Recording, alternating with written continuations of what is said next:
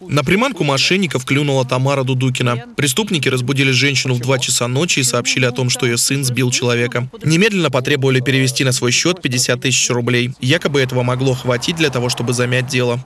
Вот на это я попался. Но я, у меня таких денег не было, они ждали-ждали, наверное, что я им вынесу, так и не дождались. Хотя меня накануне дети предупреждали, мам, ты смотри, мам. Классические способы развода в Самаре по-прежнему работают. Жулики приходят в дома к пожилым людям, проникают в квартиры под видом сотрудников коммунальных компаний и уносят имущество. Недавно на удочку самарских мошенников клюнула очередная жертва. Полицейские задержали девушку, которая втерлась в доверие 84-летней пенсионерки. По версии следствия, подозреваемая познакомилась с бабушкой на рынке, представилась сотрудницей администрации и пообещала потерпевшей новогодний подарок – коробку конфет и тысячу рублей. Пенсионерка проводила ее в свою квартиру, где мошенница передала билет приколов номиналом 5000 рублей, что не является платежным документом.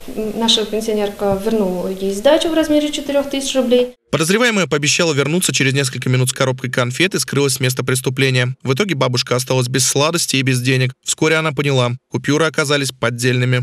На первый взгляд купюры банка приколов напоминают настоящие, но если приглядеться внимательнее, то все-таки можно найти отличия, которые должны вас насторожить. Вместо рублей дубли, а водяные знаки практически отсутствуют.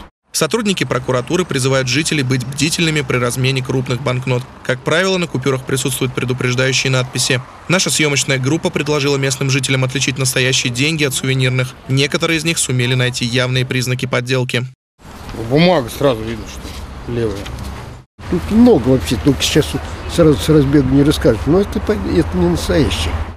По-моему, она что-то поярче, что ли, как будто как новая прям совершенно. Ну, мне кажется, поярче она.